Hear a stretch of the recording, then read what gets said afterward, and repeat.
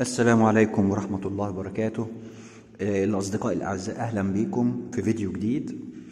آه، فكرة النهاردة عن آه، أقصر وأطول كلمات في الإنجليزي. دي طبعا فكرة إيه؟ غريبة شوية. فجات لي كده فكرة قلت لما ندور كده نشوف أقصر كلمة إيه أو أطول كلمة إيه في الإنجليزي يعني. فتعالوا كده نبدأ نشوف the shortest words in English. قالوا إن آه، أقصر كلمة في الإنجليزي هي آه، طبعا في كذا كلمة يعني هن- هن- هنستعرض أربعة. أصغر كلمة قالوا حرف ال a اللي هي أداة النكرة. آه، يعني مثلا لما أقول he is a mechanic هو بيشتغل ميكانيكي فحرف ال a ده معناه طبعا إن هو يعني أنا بتكلم على حد نكرة يعني أو مختلفة طبعا عن لما أقول the اللي هي بتاعت التعريف مثلا زي the sun الشمس. فده دي اسمها أداة نكرة يعني لما أقول مثلا pen يعني قلم جاف واحد.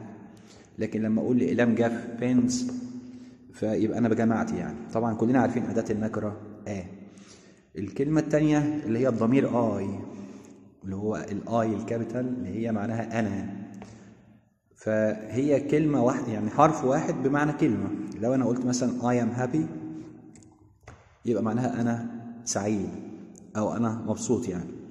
الكلمة الثالثة هي حرف ال O. وال O هنا بنستخدمها كأداة تعجب interjection وهم بيقولوا عليها less common وبيستخدموا أكتر اللي هي اتش اللي هي أو لكن طبعا ال O اللي هي لوحدها مستخدمة. وممكن تستخدم يعني سواء كان في شعر أو في كلام أو في أغاني أو كده. آه، الكلمة الرابعة حرف الإكس. حرف الإكس آه، هو حرف بس أنا ممكن أستخدمه كفعل وهنا الفعل ممكن يكون له معنيين. يعني مثلا يضع علامة X آه، ممكن أخليها أحط لها مثلا s لو الفاعل مفرد وأحط لها ed لو هتكلم في الماضي ing يعني بستخدم الفعل عادي خالص بمعنى يضع علامة X أو يعلم على حاجة يعني. والحاجة التانية في المعنى اللي هي معناها يلغي يلغي يعني زي cancel كده. فهنا X كفعل لوحده أو أو الكلمة أو يعني X ديت الحرف ده ممكن أستخدمه كفعل لوحده معناه يضع علامة إكس أو يلغي. دول كانوا the shortest words تعالوا بقى نشوف الأطول الكلمات الأطول في الإنجليزي. أول كلمة آه، غريبة جدا. يعني أنا لغاية دلوقتي مش مصدق يعني. قالوا إن الكلمة ديت هي طبعا بتبدأ ب methionyl لما نيجي نشوفها يعني. آه، الكلمة دي هي اسم بروتين كيميائي بيسموه the titin t i t i n الاسم البروتين الكيميائي ده بيقولوا إن هي 189819 حرف. وبتستغرق ثلاث ساعات علشان تتنطق بس.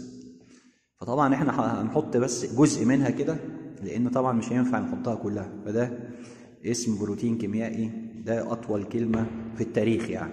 كلمة غريبة جدا 189819 حرف.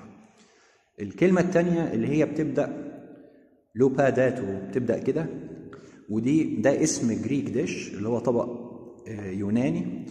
والكلمة ديت هي قدامنا تعتبر أطول كلمة في عمل أدبي. الكلمة رقم ثلاثة اللي هي بتبدأ ب pneumono ultra micro بتبدأ كده. ودي عبارة عن آه، مصطلح lung disease يعني مرض. بيصيب الرئة وبيعتبروها أطول كلمة ظهرت في القاموس اللي هي الكلمة رقم ثلاثة دي. الكلمة رقم أربعة هي بتبدأ آه، بتبدأ ب supercalifra أو بتبدأ كده؟ ودي عبارة عن أغنية A song from a Disney musical film ماري بوبنز الفيلم ده كان سنة آم، 1964 1964 دي يعت- يعتبر أغنية يعني. فبرضه آه، طويلة كلمة طويلة جدا. الكلمة رقم خمسة بتبدأ ب pseudo أولها حرف p أكيد مش هيتنطق عشان بعديه s. وده الكلمة الطويلة دي هي اسم لأحد الأمراض. الكلمة رقم ستة بتبدأ ب f l أو flo والكلمة الطويلة دي معناها worthless أو unimportant أو حاجة مش مهمة يعني حاجة غير هامة. الكلمة رقم سبعة آه، الكلمة ديت في ناس كتير من مدرسين الإنجليزي عارفينها وهي اسمها anti disestablishmentarianism دي أشهر كلمة في وسط في وسط المدرسين الإنجليزي. لما حد بيسأل يا جماعة إيه أطول كلمة فبنقولها له اللي هي رقم سبعة دي. فبيقولوا عليها إن دي أطول كلمة بعيدا عن المصطلحات. وهي عبارة عن 28 حرف و12 مقطع. طيب الكلمة دي عبارة عن إيه؟ قال معناها هي حركة سياسية أو اتجاه سياسي ظهر في إنجلترا في القرن التسعة عشر وهو يعارض الاعتقاد بأنه لابد ألا تكون هناك علاقة رسمية بين حكومة الدولة وكنيستها الكنيسة بتاعتها يعني الرسمية. ف يعني بين المدرسين كده اسمها ضد الانشقاقية لكن هي هو ده الإيه؟ المعنى بتاعها آه، وهي ظهرت في القرن التسعة عشر وتعتبر أطول كلمة بعيدا عن المصطلحات.